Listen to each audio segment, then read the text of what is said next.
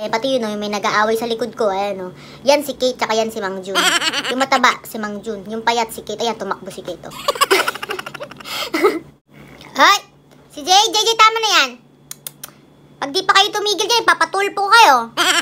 Doon tayo sa tulpo mag-usap-usap. Tama na yan. Hmm.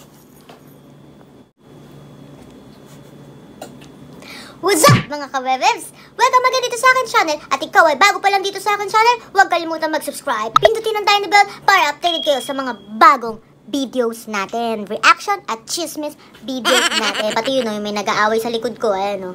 Yan si Kate, tsaka yan si Mang Jun. Yung mataba, si Mang Jun. Yung payat, si Kate. Ayan, tumakbo si Kate, oh. Tingnan niyo mga... Gago! Oh, binatukan ni Kate si Mang Jun, oh. Oh, oh, oh, lalap, oh. Dahan-dahan lumalapit si Mang Jun, oh. Oh, oh. Matapang talaga si Kate, oh. Oh, pinabatok-batukan si... Ay, tss, tama na yan. Mimiyaw, JJ, CJ. And mga bebs, oo nga pala, pasensya na pala dito sa background ko kung minsan maliwanag, kung minsan madilim, ayan. Kasi kapag, kasi yung camera ko kapag nag-focus sa mukha ko at dito sa damit ko na makulay, is yung white background na wall ko, ayan, ayun, ayun, tinan nawawala yung ano, yung kamay ko, is sobrang nagliliwanag. Kaya pasensya na kayo kung mababago-bago-bago yung videos na to na ginawa natin, eh hindi ko naman ma-edit yung background ko dahil white siya, 'di ba? Sobrang liwanag niya, pati may araw, tsaka yung liwanag dito sa harap ko is naglalaban. Kaya pagpasensyahan nyo na, mga bebs, okay? At kung malikot man yung camera ko like this, ganyan-ganyan, pasensya na rin po. Ha? Makichismis na lang tayo, wag nyo nang pansinin. Kasi nasa office tel kasi ako, nandito ako sa office ko, look, andyan yung kama ko kapag napagod ako sa kakatrabaho. Tsaka, ayan, at andito sa harapan ko is ang aking computer. Show you mga bebs. Ayan, ayan, ito, ayan, mga papeles. O, oh, ayan, doon pa, yun. Ayun nga. Kaya pagpasensyahan nyo na kung pangit yung background ko kasi nandito rin yung mga mingming ko, ang aking mga alaga na lagi kong bitbit saan man ako magpunta. Pasensya na kayo, ha mga bebebs, pagtiisan nyo na to kasi ako nagtitiis. Char, nagtitiis na lang din ako makichismis, so makikichismis lang din naman din kayo. Pagtiisan na natin to. Okay, let's go now na. Let's go! Okay, may iba tayo. Punta tayo sa ating topic. Bakit tayo nandito? Ito yun. Nandito tayo ngayon dahil sa mga nag-request ng isa pang part 3 reaction about dito kay Kate Talents at kay Mang June na sinabayan pa ni Manong Security Guard na sinabayan pa rin at sinama si Idol at ito na nga, mamaya daw kay MG naman magsasalita daw si Kate Talents. Kasi hindi siya nakapagsalita at hindi siya pinagsalita ni Idol sa, alam niyo na, sa Tulfo. Eh, feeling ko ah, medyo tagilid si Kate ngayon. Feeling ko tatagilid siya dahil sa mga story niya na hindi masyadong nagtugma-tugma doon sa mga story na nailabas sa YouTube at nailabas sa Facebook at napakalat sa social media hindi masyadong nagtugma-tugma yung mga dahilan niya at si Mang Jun din medyo tagilid din pero medyo lamang si Mang Jun ngayon dahil sa maisasama niya si Kate sa kaso na ikakaso sa kanya ng security guard at bukod pa doon masasama niya si Kate din sa kaso na walang benepisyo sa pagtatrabaho sa loob ng bahay ng mga kasatsahan. Kaya medyo tagilid ngayon si Kate. Actually, ayaw na siyang isama ng security guard sa kaso. Ang gusto ng security guard is si Mang Jun lang ang kakasuhan. Pero ano dyan, sir, nag-ayos po kami noon. Pa, napaka-imposible po nung pangyayaring yun, sir. Nagayos na kayo ni Kate. Opo. Dahil daw sa sobrang sakit na naramdaman ni security guard, sa trauma na naramdaman ni security guard, sa takot na naramdaman ni security guard. Kuya, security guard ka. Marami ka pang mararanasan na mga ganyan. Ha? At baka kakita ka ng mga nabubugbog sa kalye at syempre kailangan mong tulungan. Paano yung natakot ka? Tingnan mo, may nag-aaway sa'yo. Nag-aaway. Yan si Kate at saka si Mang Jun. okay. Yun na nga, security guard, kuya. Kung ikaw ay matatakutin, bakit ka nag-security guard, kuya? Dapat iba na yung pinasok mo. Pare, nurse. Ano pa ba? O sakristan. O ano pa ba? Kasi matatakutin ka. Maano ka sa trauma. Dapat hindi ka nag-security guard. Paano pag may nag-aaway na sa harapan mo? Titignan mo lang o tatakbo ka, di ba? Okay. hindi naman ako galit kay Kuya Security Guard. Pero kasi, lumalabas dun sa Rafi action is, ang sabi ni security guard is ganito. Kanya namang yun, di ko Ayan, po, ayan ang ano, sabi di po makatulog. Pati po mga pamilya ko, naghihirap Hmm. na kung saan saan na nagagilap ng pera para lang makaluwas kami. Hindi ko na po alam ang gagawin, sir. Parang nakakatakot na kung gumala ng nandiyan pa yan, pag-alagala, nananakit ng tao. Kung ikaw ay matatakutin, bakit ka nag-security guard, kuya? Si, ayaw niyang kasuhan si Kay Talents dahil nag-usap na daw sila. Okay? Nag-usap na sila at nagka paliwanagan at nagkahingian ng sorry. Actually, hindi nag-sorry si Kate sa kanya. Actually, parang kinumpranta lang siya ni Kate na ganyan-ganyan na bakit nagawa yung mga ganyang kaplastikan, cherry, cherry, cherry, cherry, charot-charot na ganyan. Kinabukasan, bago sila magpunto, magpunta sa Tulfo, is dumiretso sila dun sa kasatsat. At nakipag-usap pa sila kay ano, kay Kate na ganyan-ganyan, kaya daw sila nahuli sa pagpila sa Rafi Tulfo. O ano yung pinag-usapan nila?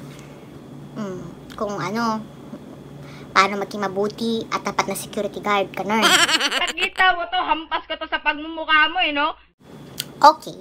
At sabi ni Rafi Tulfo na dapat isama si Kate sa sasampahan ng kaso pero ang sinabi ni security guard is ah, hindi na daw niya kailangan sampahan si Kate Thailand dahil wala naman daw nagawa sa kanya at nagkapatawaran na sila. Pero pinipilit ni Rafi Tulfo na dapat isama si si Kate sa kaso dahil nga kung hindi dahil sa kanya ay hindi naman mapapaaway si Mang Jun. Yun ang pinupunto ni Sir Rafi. At ito pa nga, actually si Mang Jun is hindi, wala kasi akong kinakampihan sa kanila. Hindi ako kumakampi kay Kate.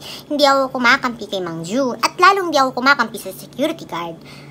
Ang akin lang dito is a reaction lang to. Mga bebs. Kung anong opinion natin dito sa nangyayari sa buhay-buhay nila. So, ito na nga. Si Mang Ju naman, dun sa Rafi Tulfo, is ah sanghayon naman siya sa mga sinasabi ni ni Idol.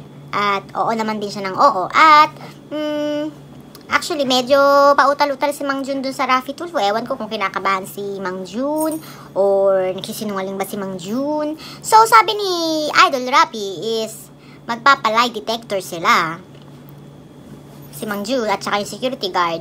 Ang security guard bakit magpapalay detector is kung totoo ba na hindi siya binayaran at hindi siya kinausap ni Kate na maging okay sila.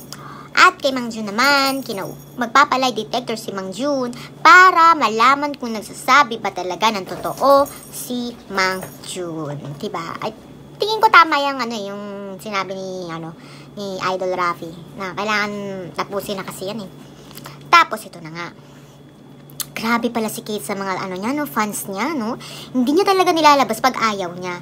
Tapos kahit may gift yon kukunin lang ng mga yaya yung gift. Tapos sasabihin sa mga fans na nag-aabang dun sa, sa labas sa malalayong lugar pa nang galing. Ha? Sasabihin na tulog si Master eh, ganyan-ganyan. Hello!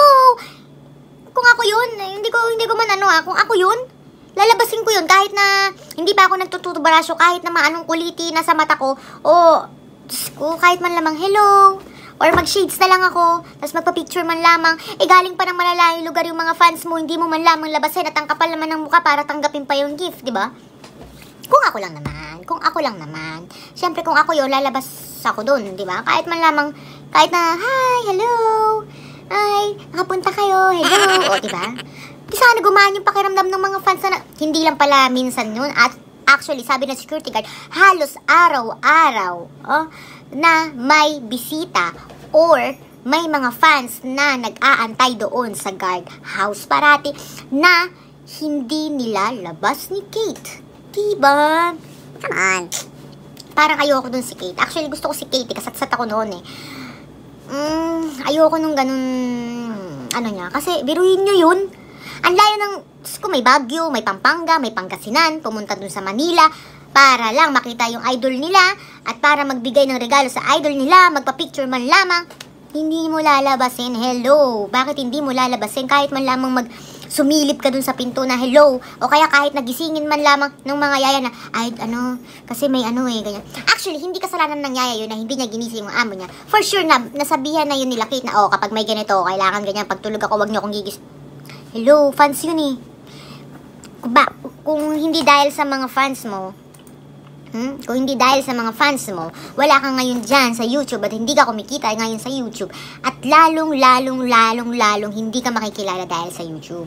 I know, hindi ka makikilala ng dahil dyan sa mga fans mo.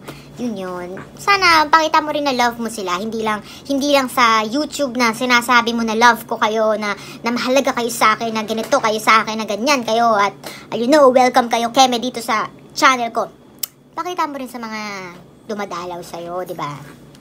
Okay, ito naman tayo kay Mang Jun.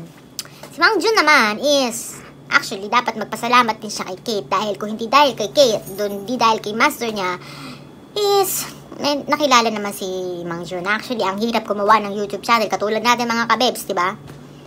Actually, napakaswerte ng Mang Jun dahil hindi niya naranasan yung mga naranasan natin dito, mga mga vlogger, mga YouTuber, na nagpupunta pa sa mga iba't ibang mga live live dyan para makipagkaibigan at hello, hug to hug tayo, oy dalawin mo naman ako, oy kalabitin mo naman yung pula sa ano ko, ganun. Diba? Hindi, hindi niya naranasan yun yung one time, pak, nag-YouTube siya, pak, 100k agad, diba?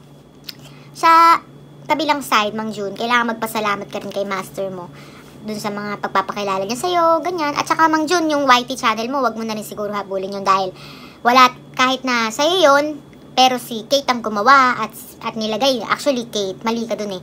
Nagpatulong sa si Mang Jun para gumawa ng YT channel. Tapos, ang nilagay mo is yung yung yung, yung email mo at yung AdSense mo. So, dapat, kung talagang gusto mo tulungan si Mang Jun, is, ginawan mo na rin ng email si Mang Jun, di ba?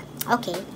Actually, Mang Jun, wala ka ng habol dyan. Sabi nga ni, Ra, ni Idol is, kapag nakalagay na yung email niya at ang AdSense niya is, wala ka ng habol doon kasi, ako, mahabang proseso yan, Mang Jun.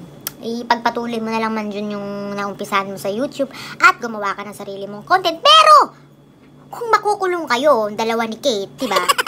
Ikaw pag nakulong ka mang June, wala na yung ano mo, channel mo, hindi mo na siya maano kasi wala naman cellphone sa kulungan, di ba? Lalo na si Kate, sayang naman yung mga kikitain at kinikita niya sa YouTube kung makukulong lang din siya. Kaya para sa akin, mag-usap na lang silang dalawa at kausapin nila security guard na wag na magsampa ng kaso at magkasorihan sila at mag-usap silang dalawa. Kasi sa dalawang side, sa dalawang parte mga bebs, dalawa silang may mali. Oo meron tama rin si Kate, meron tama si Mang Jun, merong mali si Kate, meron din mali si Mang Jun, may dagdag bawas na sa mga istorya. Kaya tayo mga chismosa, okay, hindi natin dapat sila paniwalaan. Huwag kayo magpadala sa lukso ng dugo, ay, sa bugso ng dugo nyo. Hmm? Kasi wala kayong dapat paniwalaan sa kanila dahil hindi naman natin sila nakikita. Hindi nila nat hindi natin sila kasama araw-araw. Kaya, yun na nga. Hmm? Huwag kayong magpapaniwala. Okay. At saka, actually talaga, sa laban nito is medyo tagilid si ano si Kate. Medyo tagilid talaga si Kate. Ang daming sasampa sa kanyang kaso. Madadamay na siya dun sa pag sit niya at pag-utos kay Mang Jun na tirahin si guard. At dun sa walang binipisya, binipisya o dalawa na yung kaso niya, 'di ba? Kailangan sila magkasorihan na lang sila para hindi na lumala, 'di ba? Or kaya bandang huli after nito mag mag-video sila at sabihin nila, "It's a prank!" It's a prank lang pala to mga bebe! Ganun, mga kasatsat, mga kulove-love, it's prank! Ganun. Gago! Dapat ganon. Yeah. Pinaabot pa nila kay Tulpo. Ayan. Magkakakasuhan na sila. Tutulungan sila ni Idol. Tutulungan ni, ni Idol Rapis, si security guard. Diba? Actually ah, security guard, kung wala ka talagang ano, kinakampihan at ikay nasa panig ng tama, bakit kailangan na parang binayaran kaya ata ni Kate na ganun o ano? Wala naman nakakasigurado dun. Pero sino yung nagpadala sa'yo ng 4,000? Diba may pangalan yun? Kasi pag nagpadala ka, may pangalan doon na, o oh, ito yung nagpadala, o oh, ganyan-ganyan, hindi naman pwede. Doon pa lang, wag mo sasabihin na hindi mo alam kung sino nagpadala, dahil alam mo kung sino yan, ayaw mo lang sabihin. Actually, si Mr. Rafi nga talaga hindi na